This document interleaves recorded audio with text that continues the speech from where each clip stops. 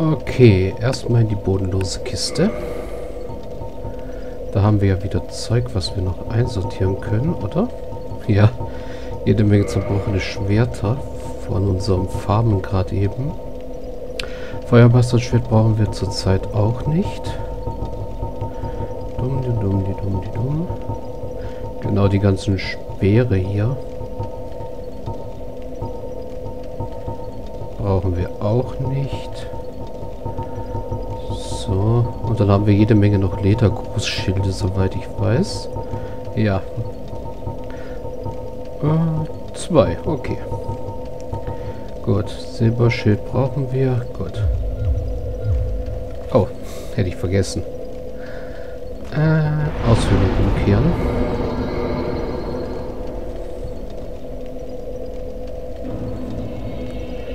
So, und dann geht es hier hinaus. Denn jetzt geht es endlich zum Bossfight von Anno Londo. Ja, und zwar werden einige, die äh, Dark Souls kennen, sagen, dass das hier jetzt eine der schwersten Bossfights überhaupt wird. Deswegen habe ich mich auch gut darauf vorbereitet.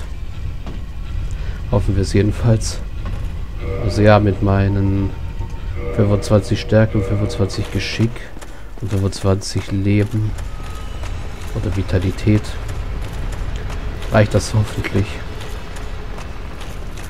Mehr Ausdauer wird zwar nicht schlecht, aber das muss passen. So, jetzt müssen wir aber erstmal wieder reinkommen in die Festung. Das dürfte aber kein Problem sein, weil wir ja das Haupttor geöffnet haben. Also können wir wahrscheinlich einfach reinmarschieren.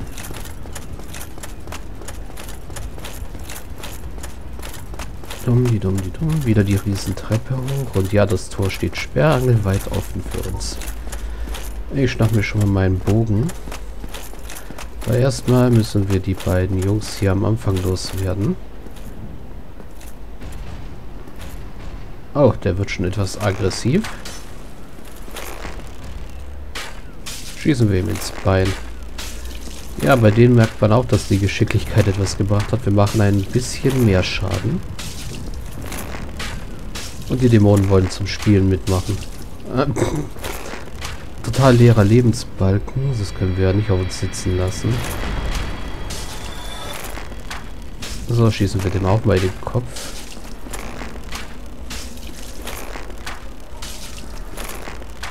So, Weg mit dir. Genau. Wechseln mal kurz auf den Falkenring, damit wir weiter schießen können. Aber die Jungs würde ich gerne wegtackern. Genau, 56 Schaden ist doch ganz ordentlich. So laufen wir jedenfalls nicht in Gefahr, hier gleich zu sterben.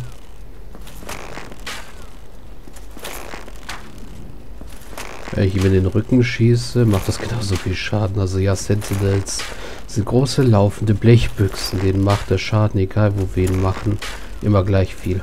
So. Gut, das dürfte reichen an Sentinels wegballern. Den letzten holen wir uns dann so, aber erst wenn wir uns den schwarzen Ritter, äh, den silbernen Ritter da oben gekrallt haben.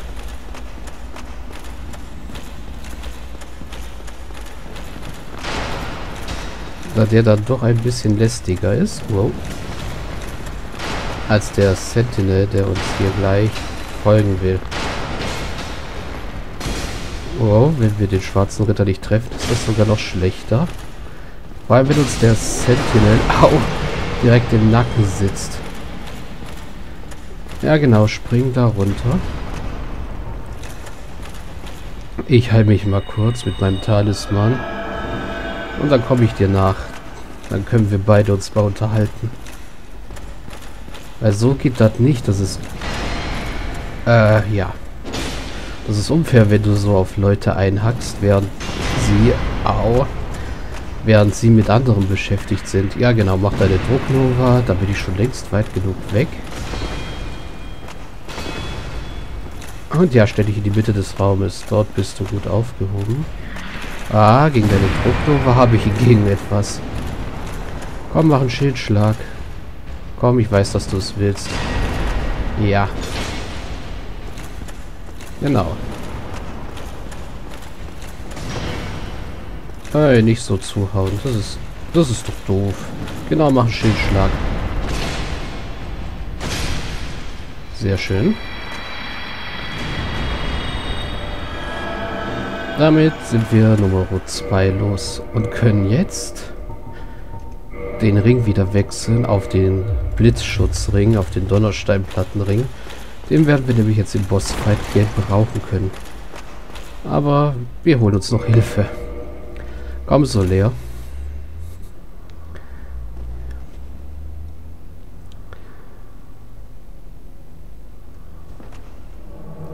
Phantomritter Soler gerufen. Jawohl.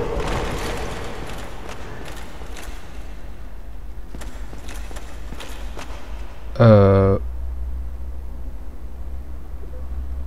Soler? Er ist da vorne runtergefallen. Ah, das mag ich nie, wenn, wenn er runterfällt und dann gleich Lebenspunkte verliert. Aber damit muss ich wohl klarkommen. Ja, komm, Soler. Auf ins Verderben.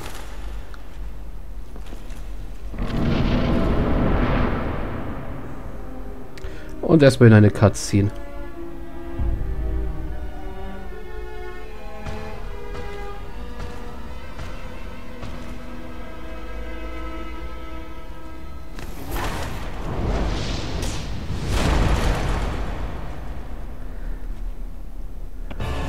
Drachentöter Ornstein und Henker Smaug. Das schlimmste Duo, was sich, Dark, was sich Nordwind vorstellen kann. Und wir gehen erstmal auf den Dicken los. Das ist nämlich der gefährlichere von beiden. Im Allgemeinen. So, immer auf unsere Ausdauer achten. Nein, nicht auf Ornstein. Aufs Maul losgehen.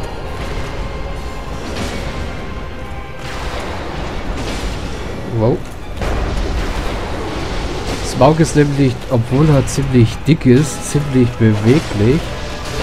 Wow, was ungesund sein kann für uns.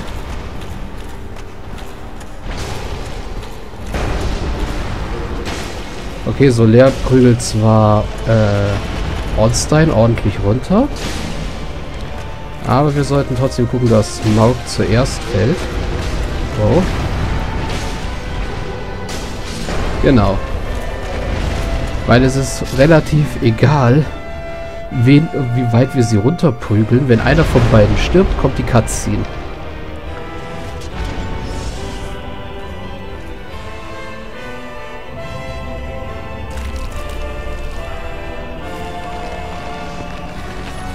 So, und der andere absorbiert die Kraft des Toten und geht in den Enrage-Modus.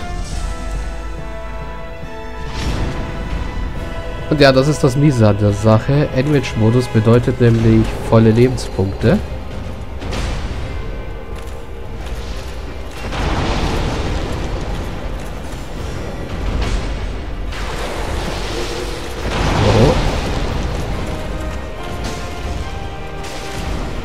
Für den anderen.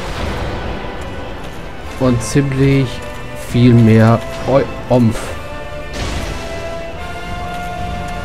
Wir werden Soler wahrscheinlich verlieren. Genau, weil er ihn jetzt gerade aufspielt. Äh, wir keinen Schaden machen in der Zeit. So, aber jetzt. Äh, ja, genau. Jetzt ist Soler nämlich tot. Und jetzt stehen wir Orts, Big Ortstein alleine gegenüber. So. Und wir sollten definitiv aufpassen, dass uns sein Blitzding nicht trifft. Autsch. Ich sag's gerade noch.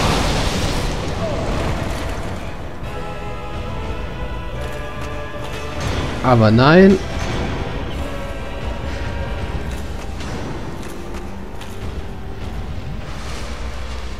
Genau, hinter der Säule verstecken ist immer eine gute Idee. Und dann aufpassen, was er macht.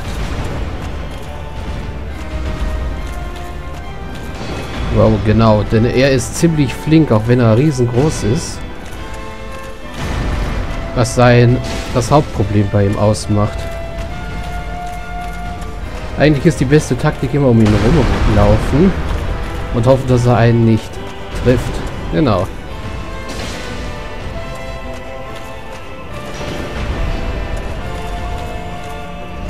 Und wenn er das macht, weit zurückgehen und bis er aufsteht, eigentlich eine verpassen.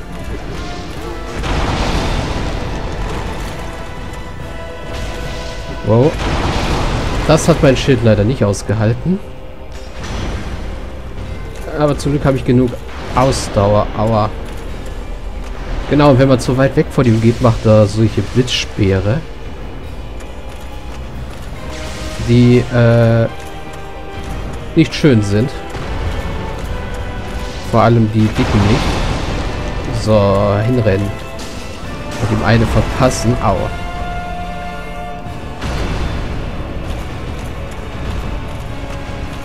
Äh, in Deckung gehen.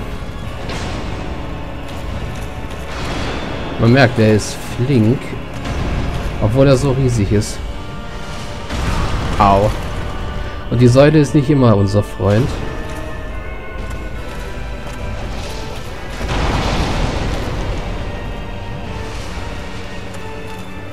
Das kann uns ziemlich viele Flakons kosten, ihn, ihn down zu kriegen. Man merkt. Wow.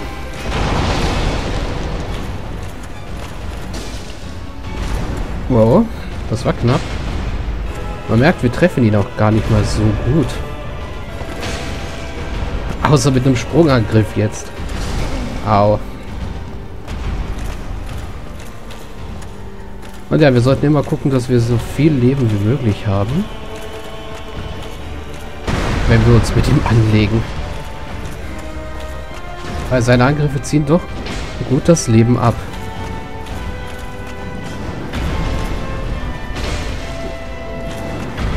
Ja, triffst uns nicht. Aber wir dich auch nicht. Wow. Blitzangriff. Und dann springt er weg.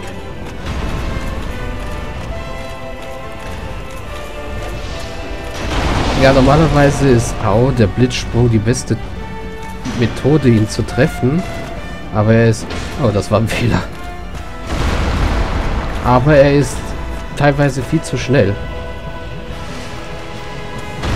Wow. Und ja, es ist gut, dass ich dieses Schild hier habe. Au, auch wenn mich das Schild nicht vor dieser Attacke schützt. Äh, ja.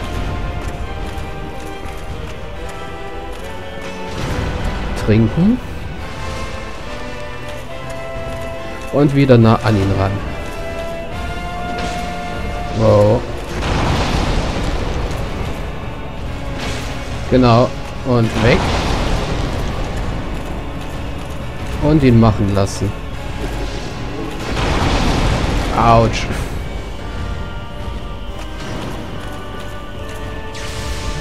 Ah, Böller sind nicht gut. Außer er schießt natürlich in die verkehr total verkehrte Richtung. Jawohl. Da haben wir ihm jetzt ein paar verpasst und jetzt verpasst er uns wieder eine. Äh, nein, das war nicht so toll. Genau, aber diese Phasen können wir nutzen, weil er trifft uns hier hinter nicht mit seinen Fernkampfattacken.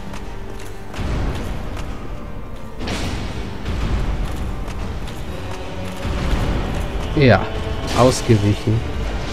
Ah, unter ihm zu stehen bei der Attacke ist immer ungesund. Äh, okay. Wegrollen. Heilen.